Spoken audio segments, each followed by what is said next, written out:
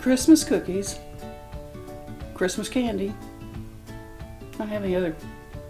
Don't do any other desserts really besides cookies. I think. I always I like my mom's cookies. Pecan pie is my favorite dessert.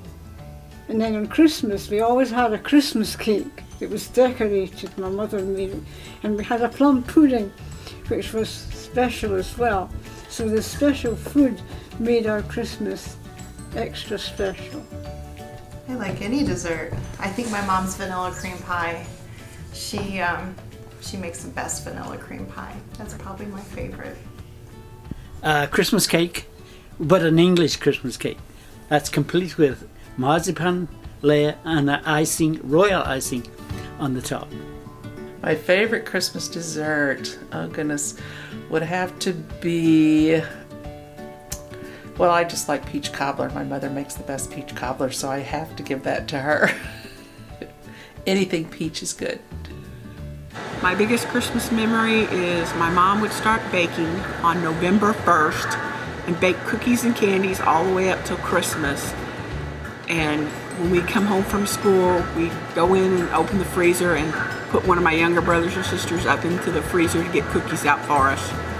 They gave us, now this, this dates me, you know, but that we were given a, like a brown paper sack, like a little lunch bag. And in it, it had one of the beautiful big oranges and a beautiful big red delicious apple.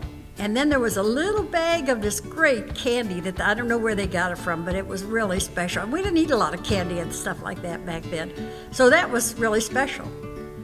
My favorite Christmas dessert is coconut cream pie. The best I've ever tasted was Dorothy Whitworth's and Linda Voiles. The crack candy that people make.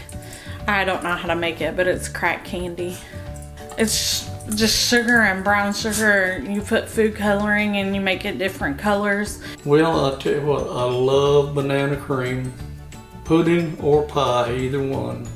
Don't make no difference.